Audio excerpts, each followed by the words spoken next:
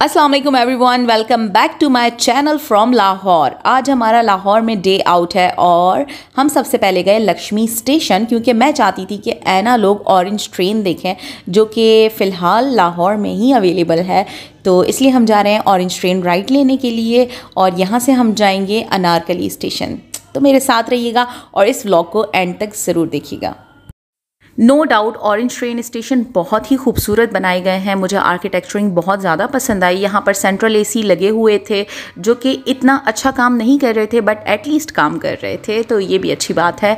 पाकिस्तान में ये टेक्नोलॉजी काफ़ी टाइम बाद आई है। बाकी सब कंट्रीज़ में बहुत पहले से अवेलेबल है ये टेक्नोलॉजी बट एटलीस्ट आई है। इस बात की भी खुशी है। देर आए, दुरुस्त आए। यहाँ पर हमने जो टिकट बाई किया, वो हमें फ़ोर्टी रुपीज़ पर हेड पड़ा, जो कि बहुत ही रीज़नेबल था। हमने जाना था था लक्ष्मी स्टेशन से अनारकली स्टेशन।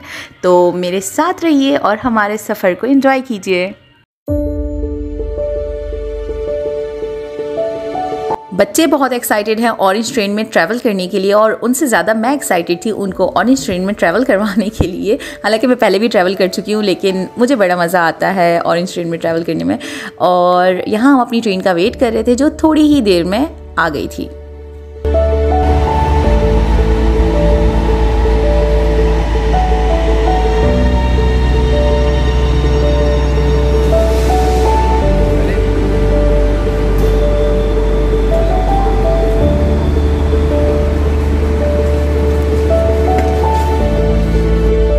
और यहाँ शुरू हुआ हमारा फ़ोटो सेशन जब अच्छी लोकेशन हो अच्छा बैकग्राउंड हो तो पिक्चर लेना तो बनता है। और जब सभी पिक्चर्स ले रहे थे तो मैं कैसे पीछे रह सकती हूँ? तो मैंने हाल ही से कहा कि आप मेरी भी पिक्चर्स लें यहाँ पर। वैसे तो हमारा छोटा सा सफ़र था लक्ष्मी स्टेशन से अनारकली स्टेशन तक का, लेकिन हमने इस सफ़र को खूब इन्जॉय किया।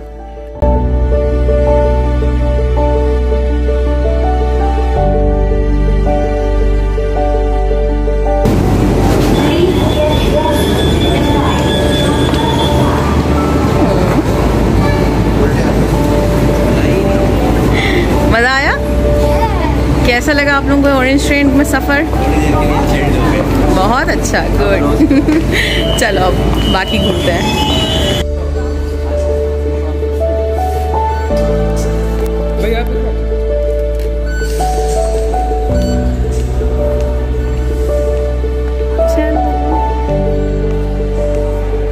अनारकली स्टेशन पे उतरने के बाद हम आए ब्रेकफास्ट करने। ये कोई चने वाली गली थी। यहाँ पर दो तीन रेस्टोरेंट्स बने हुए थे। हालार और अवेज़ भाई को लाहौर के छोले खाने थे।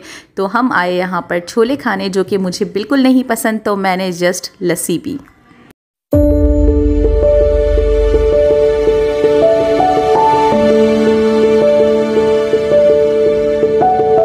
ब्रेकफास्ट करने के बाद हम सबसे पहले पहुँचे मीनार पाकिस्तान, जिसे यादगार पाकिस्तान भी कहा जाता है। ये लाहौर की बहुत ही फ़ेमस जगह है और मीनार पाकिस्तान देखना तो बनता ही है। इसके अलावा यहाँ मौसम भी बहुत प्यारा हो रहा था तो हमने खूब इंजॉय किया।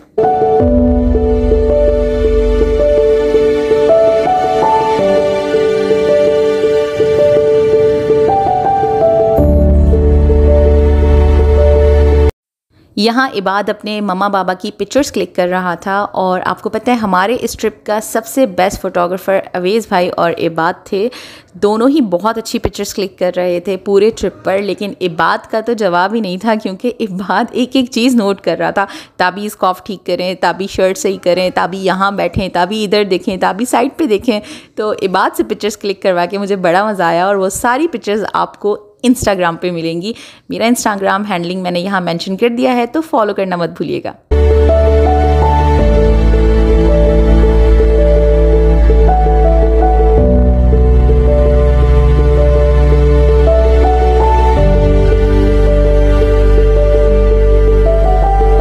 उसके बाद हम पहुँचे लाहौर फोर्ट, यानी कि शाही किला। यहाँ का entrance ticket just fifty rupees था। हमने टिकट्स बाई किए, अपनी टिकट्स लिए और उसके बाद हम चले शाही किला नाइन सेवन लिया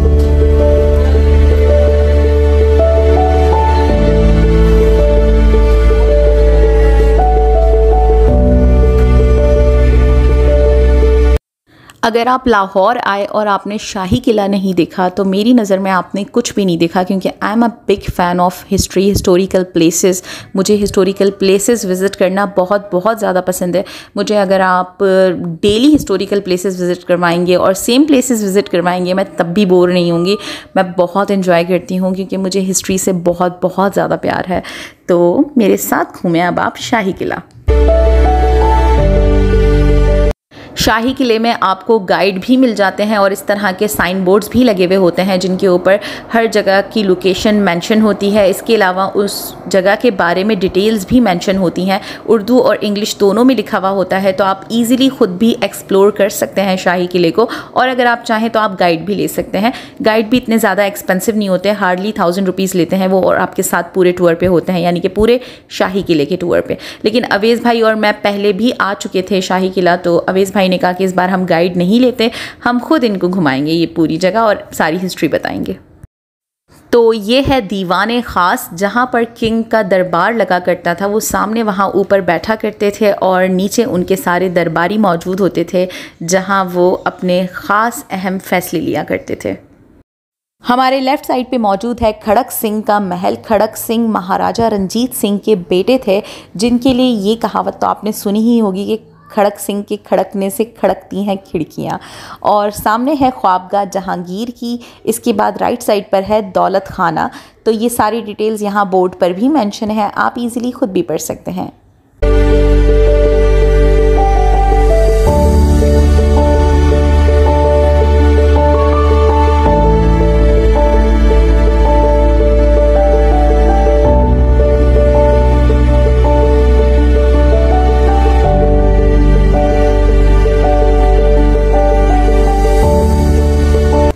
तो इस वक्त हम लोग हैं शाही किले में और यहाँ पे बहुत बहुत बहुत ज़्यादा गर्मी हो रही है। सांस भी नहीं ली जा रही मुझसे, क्योंकि हवा बिल्कुल बिल्कुल बंद है और हालत बहुत बुरी हो गई है।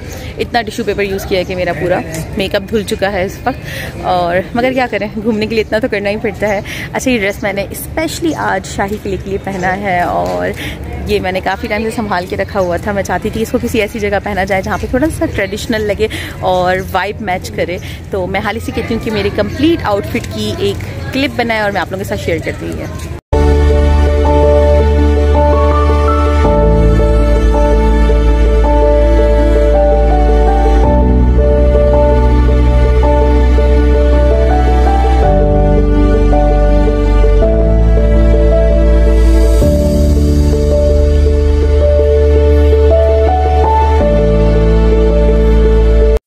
अब हम मौजूद हैं सिख आर्ट गैलरी में। ये भी शाही किले के अंदर ही बनी हुई है और ये है महाराजा रंजीत सिंह की घोड़ी, जो कि उनकी बहुत ही पसंदीदा घोड़ी थी, जिस वजह से उन्होंने इसकी मम्मी बनाकर यहाँ रख दी थी।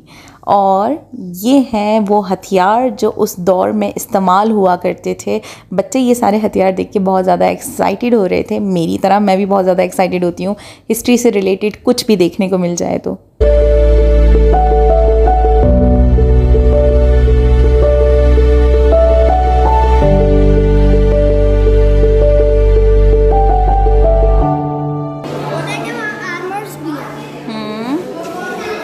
रश बहुत ज़्यादा है यहाँ पर, इस वजह से ज़्यादा शूट नहीं कर पा रही मैं।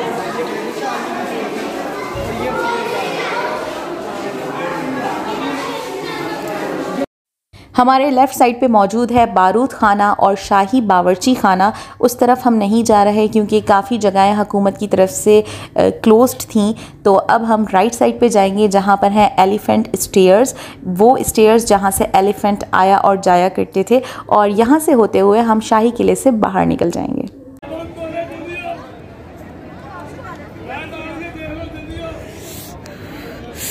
मेरे पैर बहुत बहुत बहुत बुरे तरीके से जल रहे हैं।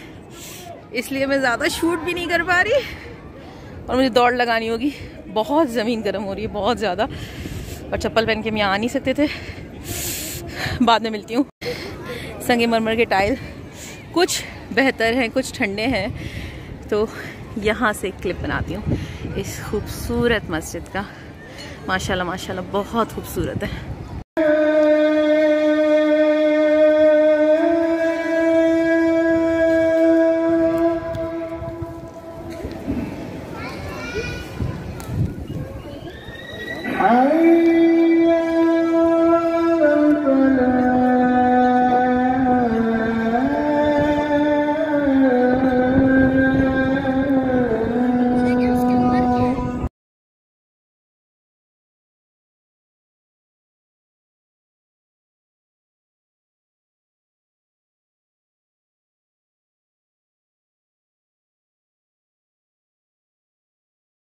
टोटल लाइफ का चाहिए अच्छे से है अच्छा लग रहा है। आगे देख लेते वरना फिर आ जाएँगे। है ना? कह रही आगे देख लेते वरना यहीं खा लेंगे खाना। फ़ूड कोर्ट हम काफ़ी जल्दी आ गए थे, अभी हमारा डिनर टाइम हुआ नहीं था तो हमने सोचा कि क्यों ना यहाँ पर थोड़ी सी शॉपिंग की जाए। फ़ूड कोर्ट में ही आगे ये कुछ शॉप्स बनी हुई थी जहाँ पे काफ़ी एंटीक चीज़ें मिल रही थी, मगर प्राइस इतनी रीज़नेबल नहीं थी थोड़ी सी एक्सपेंसिव थी यहाँ पर हर चीज़। चलो।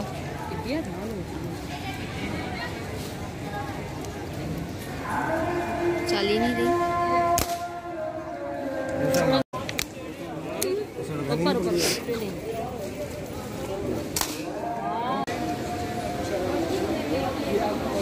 मुस्तफ़ा को अच्छा लग रहा है ये घोड़ा। ये वाले हैं छोटे वाले?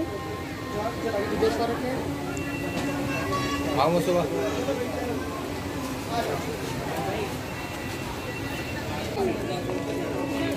आप क्या देख रहे हैं यहाँ?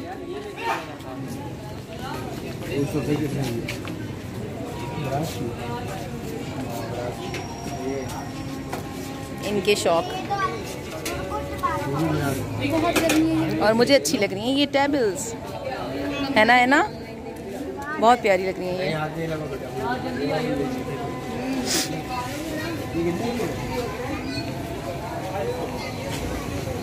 ये देखो, बड़ा वाला बॉक्स भाभी। ज्वेलरी बॉक्स जो देख रही थी।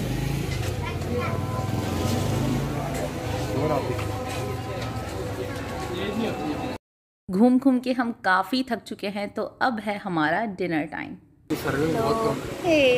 भूख लगी है? पर फिर भी रेट में ज़मीन आसमान का फ़र्क है साढ़े चार सौ कहाँ सोलह सौ? कहने वाले मुझको फरेबी कौन फरेबी है ये बता। वो जिसने